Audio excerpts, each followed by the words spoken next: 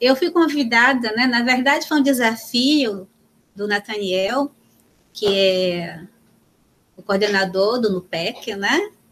NUPEC, que é o Núcleo de Pesquisa em Quadrinhos, no qual eu e o Thales fazemos parte, e esse canal né, do YouTube é do NUPEC, e ele me fez esse desafio para escrever sobre, sobre a Bíblia, mas na época, em 2012, sobre esse material aqui, ó, a Bíblia em Ação. Né, a Bíblia em Ação é um, um, uma Bíblia, um texto, uma produção de Sérgio Cariello, que é um quadrinista brasileiro que mora há muitos anos nos Estados Unidos, e é, o capítulo desse, desse livro, que foi organizado pelo professor Nathaniel, eu tratei sobre esse material e sobre um outro material, quer dizer, um outro material que eu tenho aqui, eu comento sobre outros também, mas um outro material que é este livro aqui, Gênesis, de Robert Crumb, né, que são dois materiais diferentes. Então, esse aqui é um material, é, dois materiais diferentes no seguinte sentido. Esse aqui, o Sérgio Cariello, é um quadrinista é, respeitado, muito famoso, né, que trabalhou na DC, na Marvel e em outras indústrias, né, que são conhecidas e especialmente conhecidas aqui do nosso canal, e irmão do Otávio Cariello, que mora aqui no Brasil e que também né, já teve um, um vídeo, uma entrevista com ele no nosso canal do Nupec. O Sérgio Cariello, ele é cristão, e esse material, ele teve um cuidado para trabalhar esse material, tinha um objetivo, que é o objetivo de disseminar, né, de apresentar a palavra, no caso, a palavra bíblica, na sua, no seu pensamento cristão. Já o Crumb, ele é judeu, e esse livro aqui trata só de Gênesis. Só o livro de Gênesis, né? Uma apresentação rápida aqui dos dois materiais que posteriormente eu vou é, tratar mais adiante, se o Thales me permitir. mas, oh, com mas, certeza que vamos permitir, né? as imagens, né, eu trato nesse texto, eu estou com um texto aqui no livro, né, o livro chama-se Para o Alto e Avante, o texto sobre histórias em quadrinhos para usar em sala de aula. E o meu capítulo ficou no final do, do livro organizado pelo professor Nathaniel, porque tratava da Bíblia, né?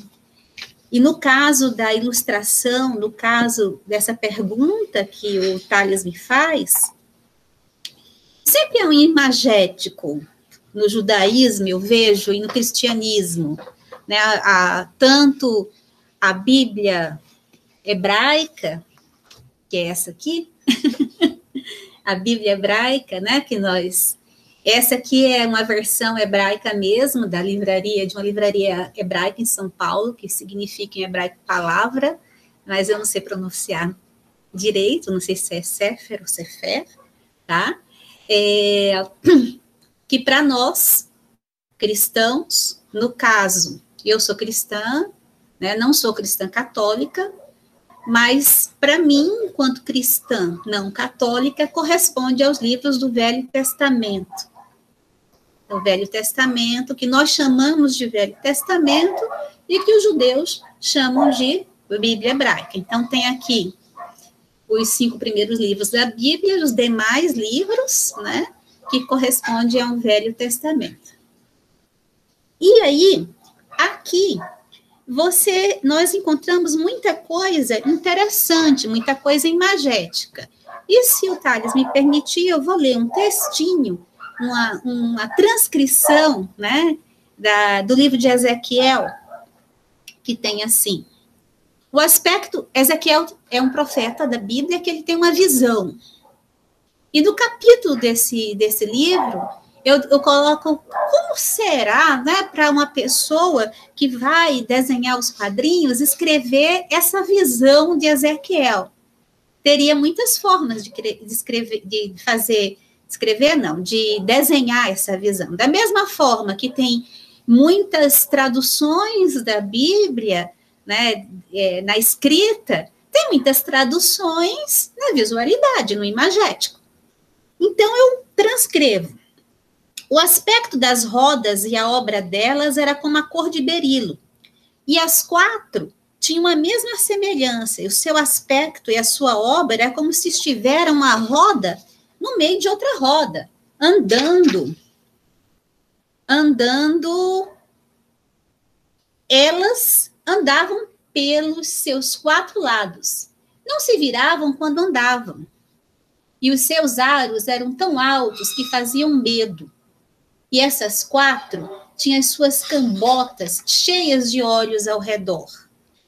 E a minha pergunta é: como ilustrar nessa visão que Ezequiel tem, uma visão que Ezequiel tem na beira de um rio? Como ilustrar essas rodas, essas rodas que andam, essas rodas que têm luzes e que têm olhos, né? E na época não tinha as nossas rodas, não tinha os carros, não tinha os aviões que hoje tem. Né? Na época de Ezequiel não tinha nada disso, né? não tinha como como um artista vai vai ilustrar. Então cada artista ilustra de uma forma diferente.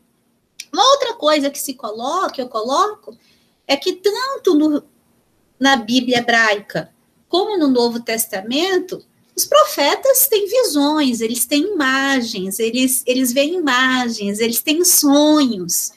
E nesses sonhos aparecem é, as imagens que eles vão transmitir para as pessoas os seus sonhos. É, José tem uma imagem, tem sonhos, né? José era um sonhador e José também decifrava sonhos, né? Que é um personagem da Bíblia.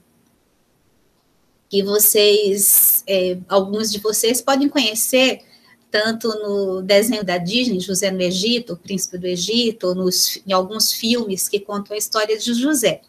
E José tem sonhos. Essa, esse imagético, essa, essa, essa simbologia está presente. Então, é algo que está presente na Bíblia, né? tanto no Velho Testamento ou na Bíblia hebraica, né? para quem é judeu, e no Novo Testamento, para quem é cristão. Esse foi o Takes do Nopec. Se você gostou desse vídeo, deixe o seu like e aproveite para assistir esse programa completo na íntegra no link abaixo na descrição do vídeo. O Nupec é o canal que faz o melhor crossover entre o universo dos quadrinhos e a vida acadêmica. E aproveite também para se inscrever no nosso canal e ativar o sininho de notificações para receber as nossas novidades todas em primeira mão.